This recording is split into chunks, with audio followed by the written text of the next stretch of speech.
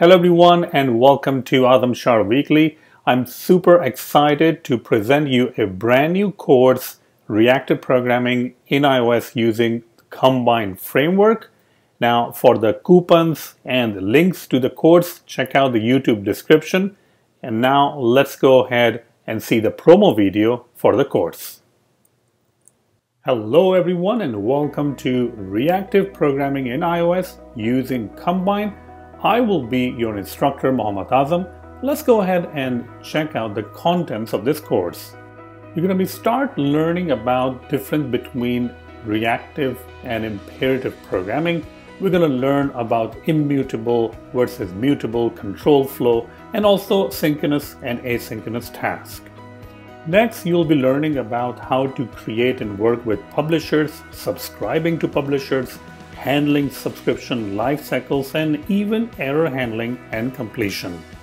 After that, we'll be looking into operators. We will learn about transformation operators, filtering operators, combining operators, and even error handling operators.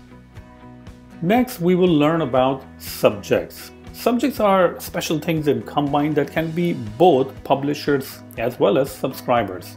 You will learn about pass-through subject and current value subjects and even creating your own custom subjects.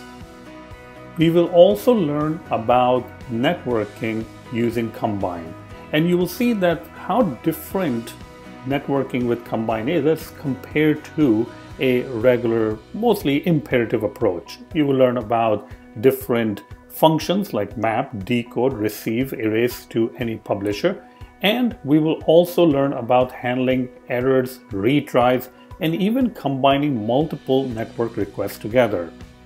After learning all the building blocks of Combine, we are going to put our knowledge to test by implementing a UIKit application using Combine and networking. We are going to be consuming the OMDB API where we can fetch all the different movies based on the search criteria determined by the user. Next, we will implement the same movies application, but this time using the power of Swift UI framework.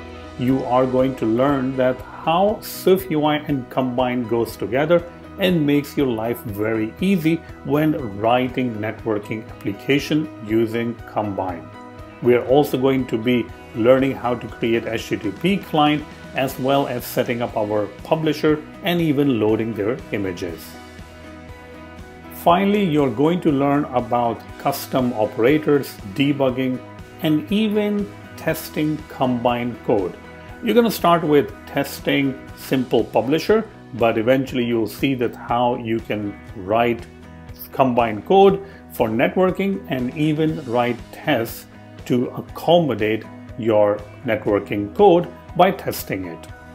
I'm so excited that you have decided to take this course, so if you're ready, let's get started.